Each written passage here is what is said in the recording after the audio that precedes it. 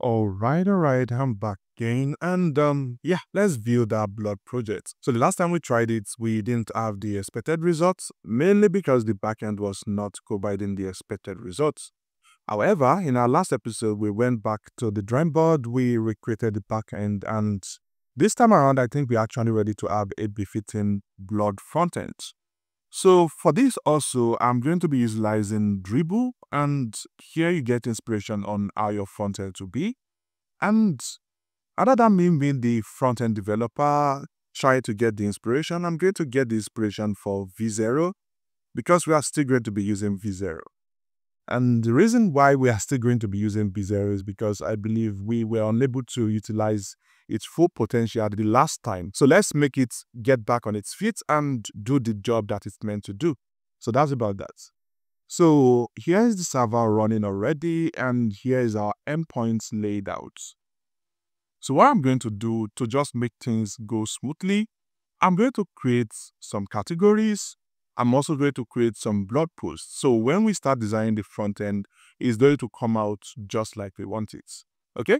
So without any further ado, I'm going to get on the site and I'm going to create a couple of blog posts as well as the category and we'll come back here to utilize V0 to generate what we need. All right, all right. Um, so utilizing Postman, ChatGPT, and every other resources I could lay my hands upon, I've been able to create this couple of categories. So I have seven of them. Um, we can take a look at what categories I've created. And also, here is what my ChatGPT history looks like. It was what I used to create the category and as well it was what I used to spawn up all the posts I've created. So let's go back here and see the post I've created. So coming to posts, so we have this.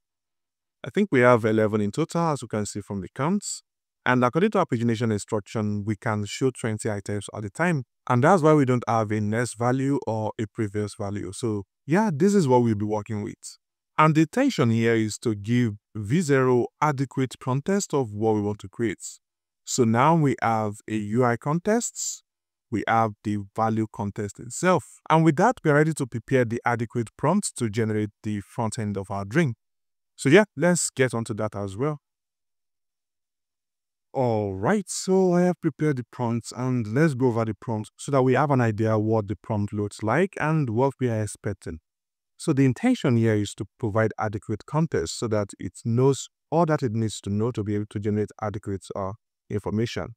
And I think um, just on that note, I'm going to put one more instruction that this is going to be strictly TypeScript. So it should consider creating all the types and all that is needed. All right, so I've put that information here. So let's go over it once again. I have pasted all the image reference I obtained from the Dribbble contest here.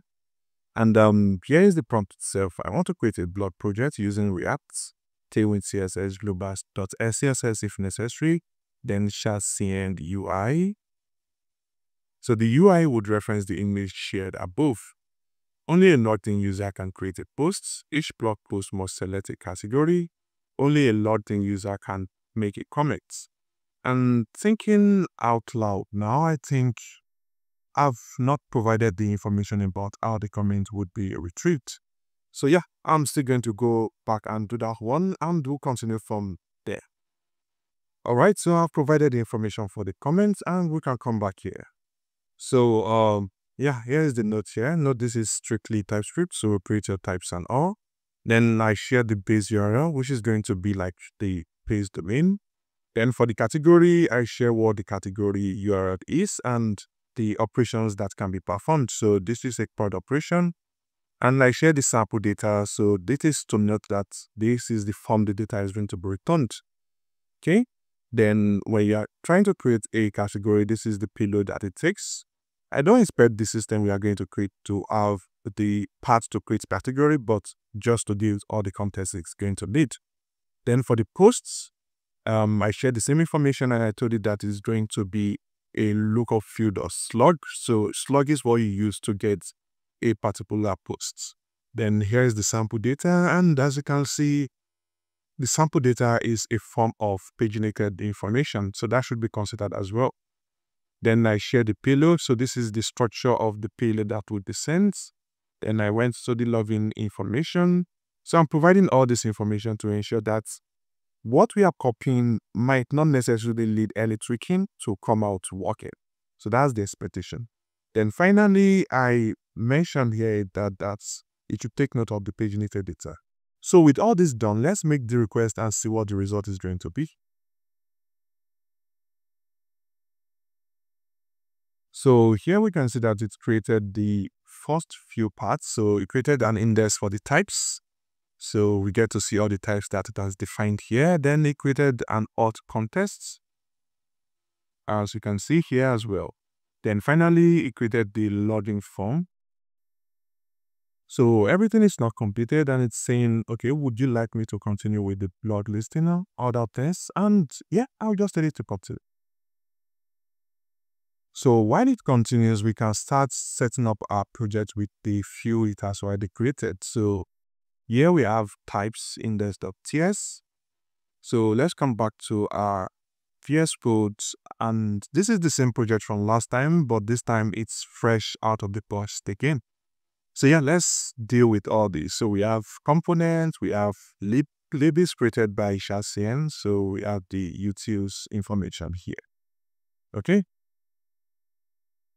so also we have other UI information from shadcn. So I think we can come here, create a new folder and add blog, just as suggested by v0. So now we want to add the types index.tx. So according to the description, the types is also going to be a folder. So let's create a folder. So it's complaining about any and yep, we can decide not to use any so we really don't need this information, so we can remove those. And this is expressed as a programmer, probably someone that is not into program might not know. So yeah, to some extent, I still feel even though the AIs are capable of doing so much, you still need some knowledge of programming to be able to completely interpret it. So that's something to look. So yeah, we have the types. Let's move on to the next information. So we had the context as well. So let's repeat that. So using client does not really matter considering that we are using just React. So yeah, we don't need this information. So again, someone that is not uh, a program enthusiast or rather a coder or an experienced developer might not know that information. So here we are creating a context folder and we are creating auth days and days. However, looking at the fact that we are creating a blog project, I don't think having a blog folder is necessary. So I think we can just bring out the types into the source. And yeah, we can move away with this. So back into the V0 interface. So here we want to create a context folder. So contexts I believe it's Torah. And um, we are going to have auth dash contexts. So yeah, this should be a folder, not a file. Contexts. Let's rename that. Then in here, we are going to have auth dash contexts dot ts, I believe. I'm verifying. Yeah, it's .tsx. So let's do that.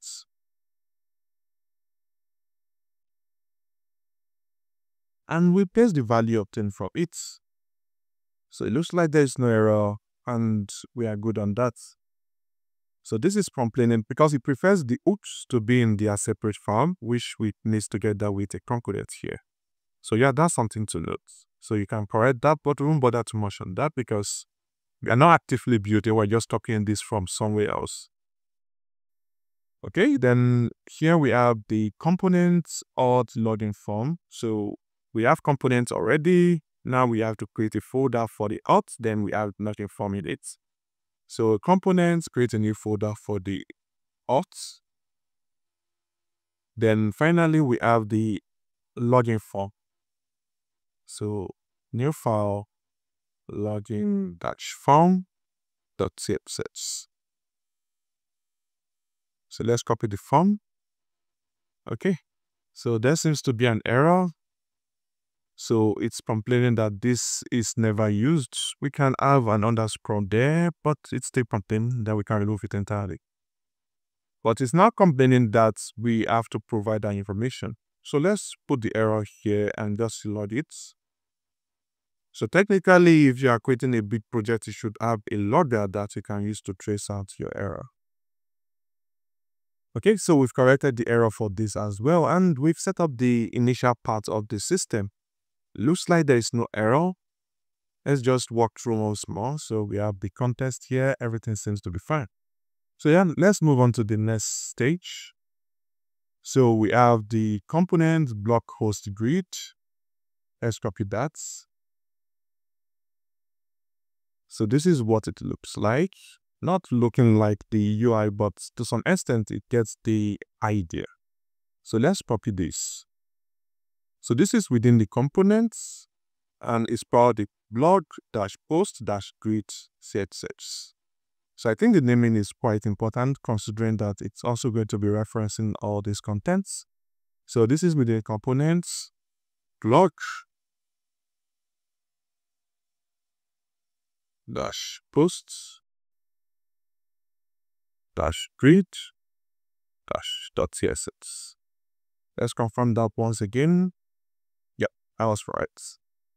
So pasting this, let's see what the issue is. So, yep, this is considering that we are using Next.js when we are not. So we would remove all this and make the necessary correction. Then also we need to install pagination from shadcn. So you can come to the CN page here to see how things is done. So go to the components. So what we are looking for is pagination, which is this. Then you can install it using this command. So here we can stop the server for now and paste command.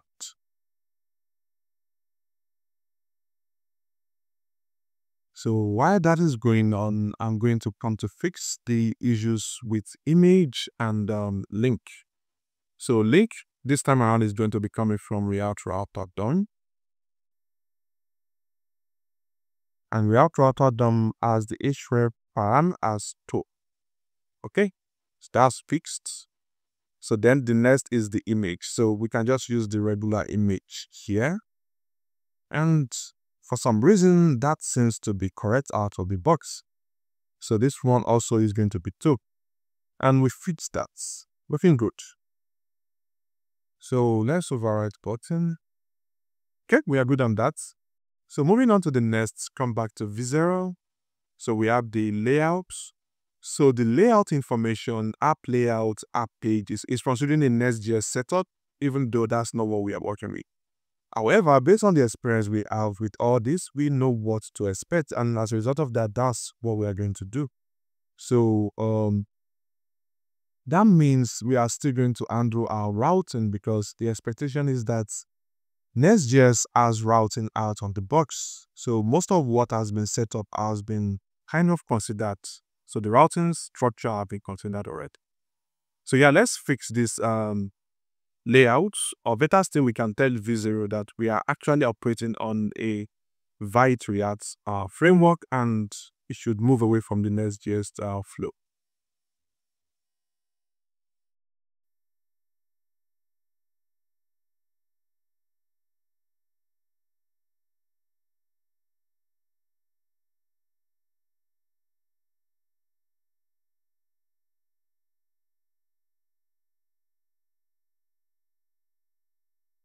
So actually it looks like it's recreating things and yeah, we can follow through with that. So now we have the app.ts. Let's copy that information, come down to the app.tx sets and paste that here. So most of these components don't exist yet. We are going to create all those. So this is expected from context. We have context already and we can rename this to be alt contexts. Yes.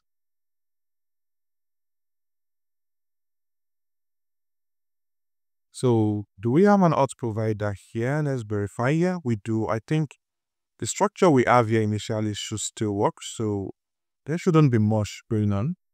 So let's verify. So the out from test, was it adjusted?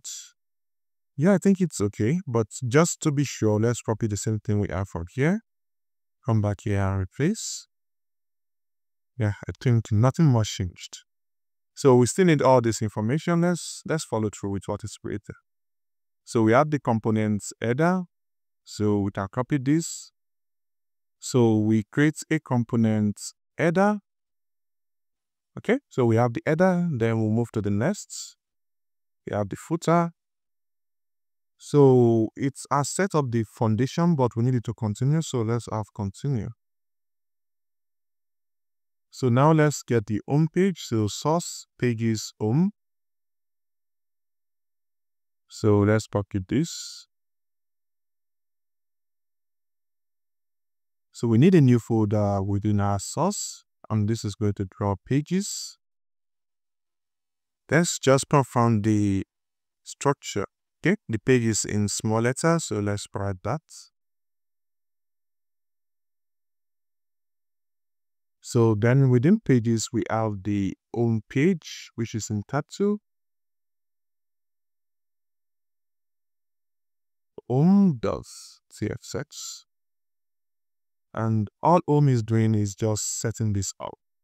So now we need to change this to fit in this structure. So let's rename this. Log posts. Good. So let's get the info. So this is blog post breed. Let's copy everything.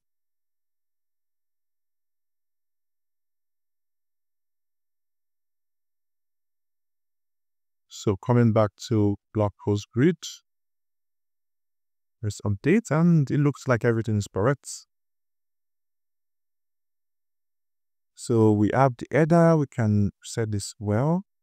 We have the footer, we can set that. We have the home. So we are left with the login, create post and post detail. So let's do that. So here's the login. So login is within pages. Let's copy this. So back within pages, rename order. We want to create a new file. New file, login.cxx.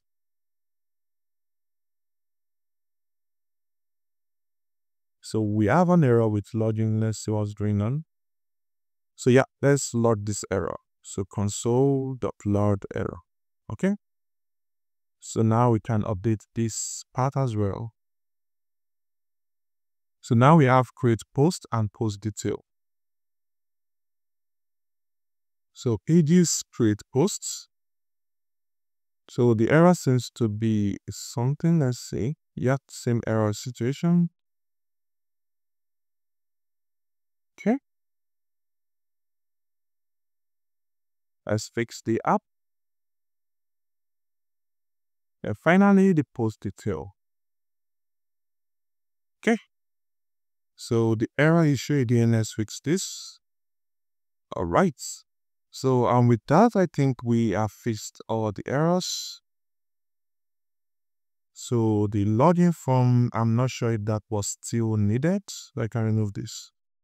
Mm.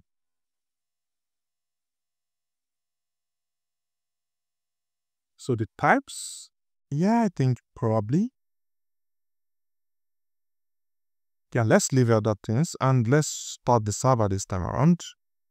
So yarn dev, let's see what it looks like. Alright, so as you can see, it did get the blog posts and the only issue we can see here is that the so this is the recent blog post and for this particular stuff we can kind of determine what the recent blog post would look like. And here we have all blog posts under it. And I think we have two pages, which is not working, which you would need to correct. Or to some extent, I think we have things in the right place. So let's try to log in with a with our credentials. So let's from here, let's get the login. Okay, so the login worked, but we need to correct the states when you are logged in. And you need to correct the title as well. So let's read more. We have the created ads information here. So it didn't show the, uh, what do you call it, the category. Yeah, we could tell it to do that as well. All right, so we had an issue when we try to view the active post. So let's see what happened. So we try to get the comments, but comments.map is not valid because comments is also going to come as a result. So let's fix this as well. So let's look for where this is happening. So comment.map.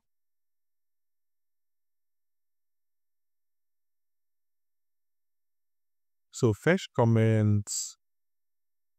So the comment itself is not just the data, but data does results.